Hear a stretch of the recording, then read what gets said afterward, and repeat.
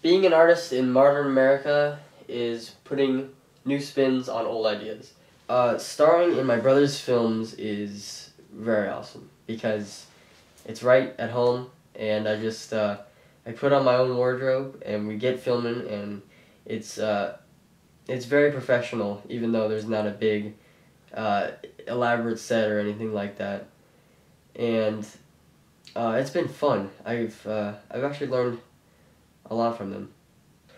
Um, working in the film industry with my brother can be uh, very fun because we get to see each other uh, do the same thing. We get to take off of each other, see what they're doing right, um, and we also get to work together when we're writing, and that's that's very helpful because we bounce ideas off each other all the time, and it's fun.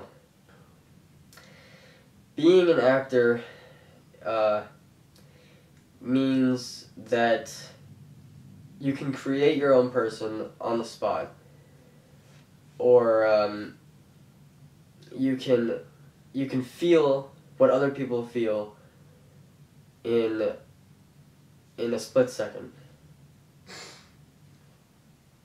Uh, living in LA, I've learned that uh, the film industry is is rough. There's a lot of times where um, there's a lot of times where people don't understand your work, or they don't need it at that point, so it feels like you're not doing well. But it's it's not that. It's just sometimes you know you you you won't be the right hair color or you won't be the right type, the height. I mean, and um, and you can't let it get you down. Um,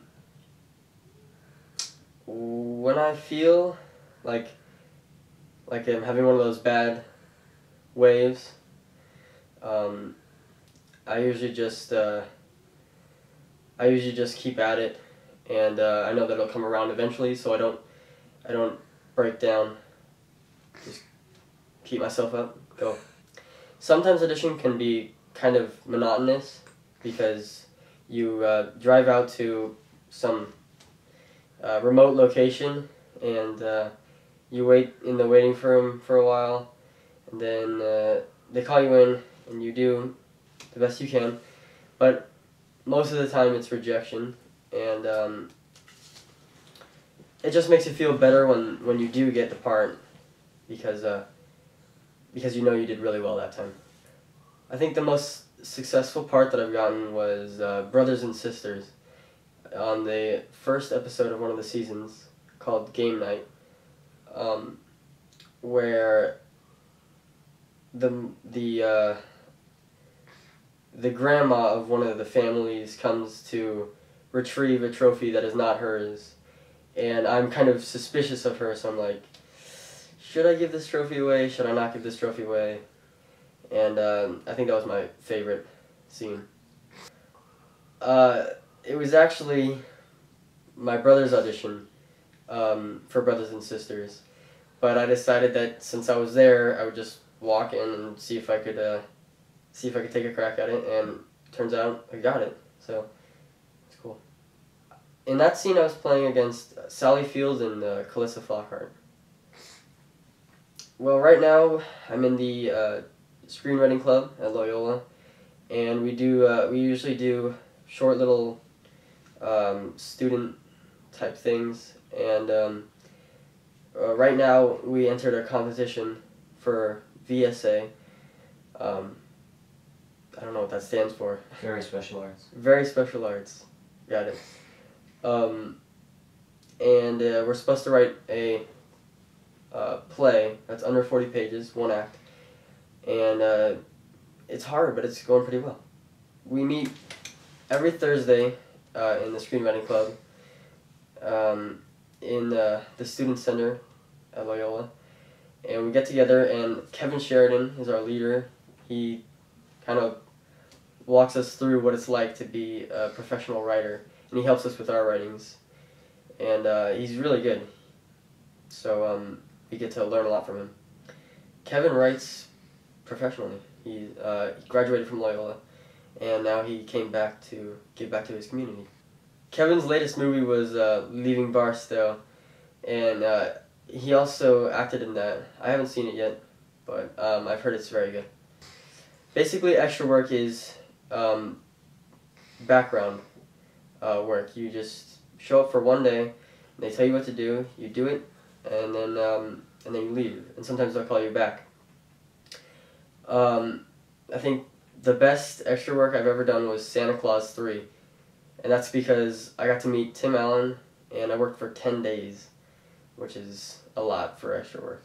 Well, I've taken a lot of classes, but the best way to learn acting is through experience. Uh, there's nothing a, a class can teach you that's like being on set and just doing it and learning from your own actions and seeing yourself on screen. Um, but if I had to talk to a beginner actor and tell them what I thought was most important, it was to not be self-conscious at all. Just let it all go. Who cares what other people think? Just do what you think is is uh, the right choice or a strong choice. Not always the right choice. Making a strong choice is um, is taking something that a writer has written down and turning it into a whole new or putting your perspective on it uh, that another actor wouldn't have thought of. And I think casting directors and directors like to see that. My favorite actor and the actor who inspired me to act is Michael J. Fox. Right here.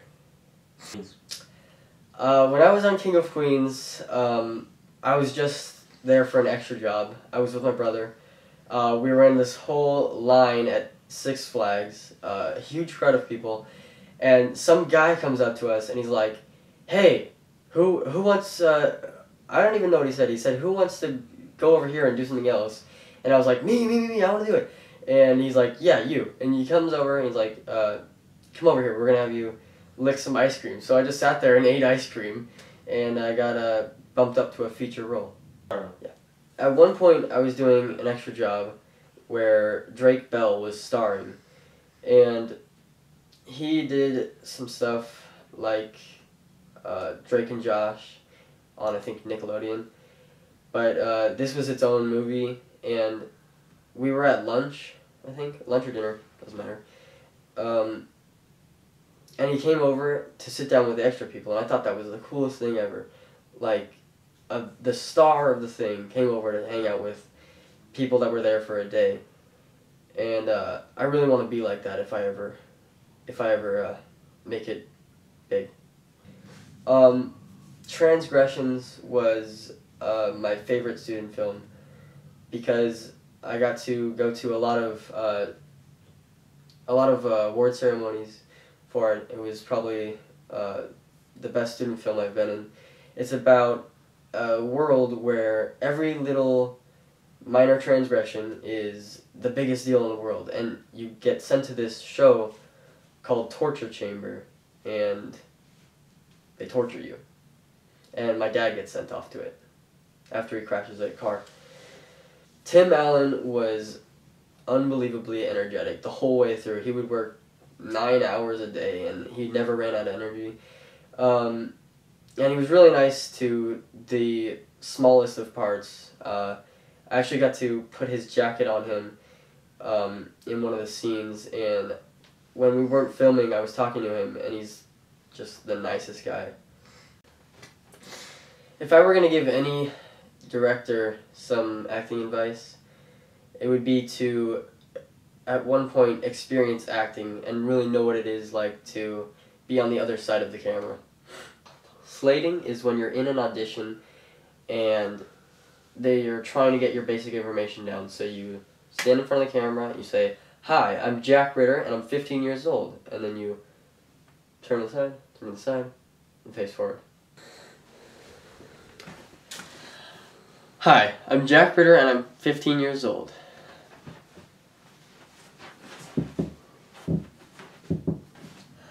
Hi, I'm Jack Ritter and I'm not wearing any pants.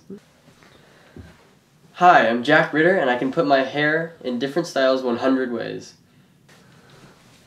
Hi, I'm Jack Ritter and I'm a lizard. Hi, I'm Jack Ritter and I work for Santa. I heard better one. Hi, I'm Jack Ritter, and I'm the most interesting man in the world.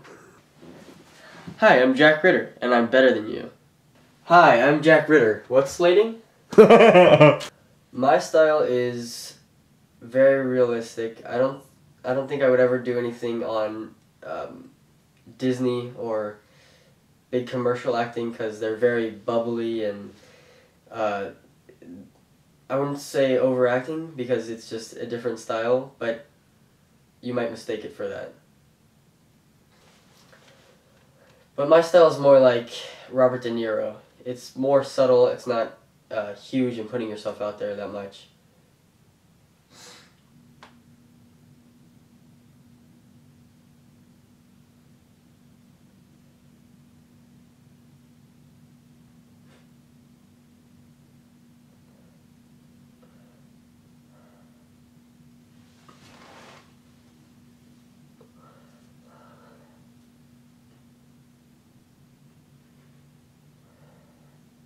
Fabulous Felix McCabe was the first audition I ever had, and um, surprisingly, I got the part.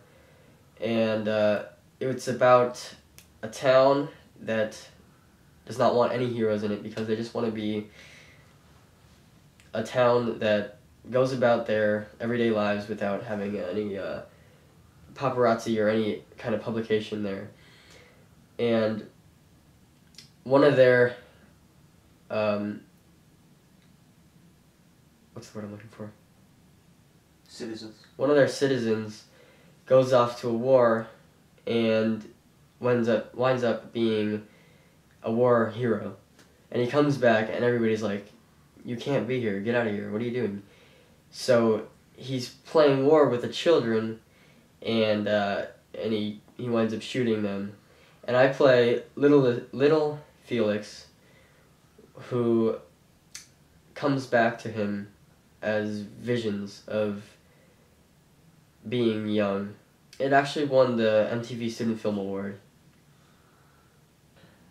Working with Disney was um, was pretty uh, normal for the most part. I thought it was gonna be, like I said, it was a different style of acting, but um, uh, I worked with my brother on that one. It was just um, it was background stuff and uh, it was Christmas time, and I remember um, I remember thinking these these actors are are so much funnier in real life than they are on these shows. I mean, they should they should have these guys write write the scripts.